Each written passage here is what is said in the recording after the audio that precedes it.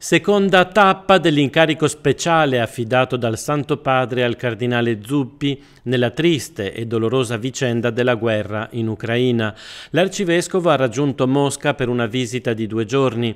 Scopo principale della visita è quello di incoraggiare gesti di umanità che possano aiutare a trovare una soluzione all'attuale tragica situazione e modi per raggiungere una pace giusta.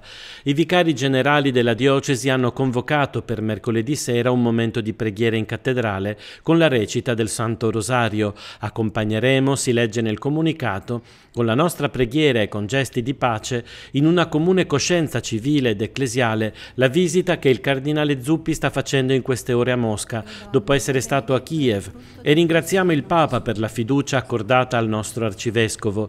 Nel momento di raccoglimento e nella preghiera del rosario vogliamo così esprimere la nostra partecipazione e pregare per la pace in Ucraina e nel mondo. Anche la CEI ha invitato i credenti alla preghiera, mentre i vescovi dell'Emilia-Romagna, che si trovano insieme in questi giorni per gli esercizi spirituali, hanno espresso il loro sostegno spirituale al cardinale.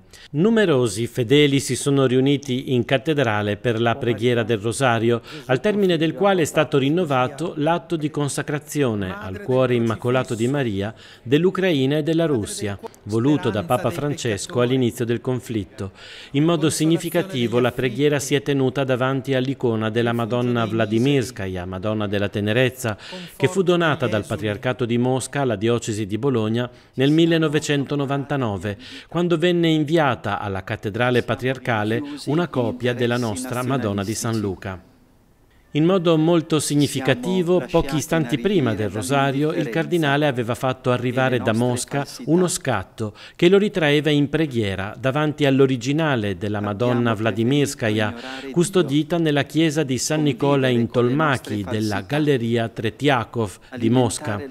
L'icona dipinta a Costantinopoli raggiunse la città di Kiev nel 1130 per poi essere trasferita nella cattedrale di Vladimir e in seguito a Mosca.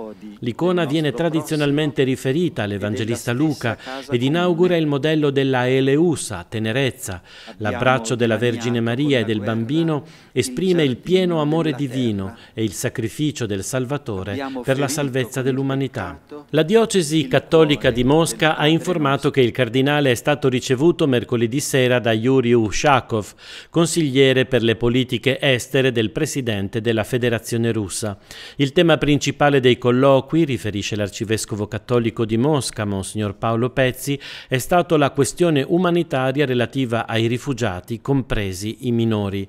Monsignor Pezzi ha riferito che il cardinale ha potuto incontrare tutti i vescovi cattolici in Russia, si è interessato alla vita delle comunità cattoliche russe, in particolare alle attività caritative, soprattutto nelle regioni meridionali della federazione, dove la Caritas della diocesi cattolica di San Clemente, che ha base a Saratov, ha attivato un servizio per i rifugiati.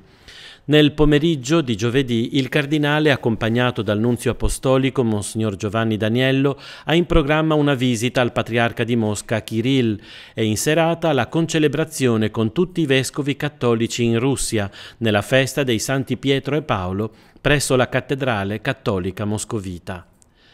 Intanto mercoledì sera a Bologna, prima della preghiera in cattedrale, si era tenuto in piazza Nettuno un momento di riflessione.